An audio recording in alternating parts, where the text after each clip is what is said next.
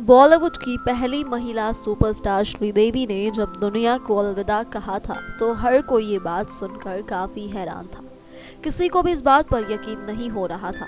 तो वहीं बता दे, हाल ही में इस बात का भी खुलासा हुआ कि जब इस बात का पता चला श्रीदेवी के सोतेले बेटे अर्जुन को कि उनकी सोतेली माँ भी इस दुनिया में नहीं रही तो ये बात जानकर अर्जुन ने सबसे पहले अपनी बहन अंशुला के पास फ़ोन किया और ये पूछा कि क्या करना है। ये बात जानकर अंशुला ने सबसे पहले भाई अर्जुन से यही पूछा कि दोनों लड़कियाँ कहाँ हैं? उसके बाद दोनों भाई बहन जानवी खुशी के पास जाते हैं और इस बुरे वक्त में उनका सहारा जिस तरह से बनते हैं, ये तो शायद ही किसी को बताने की ज़रूरत हो।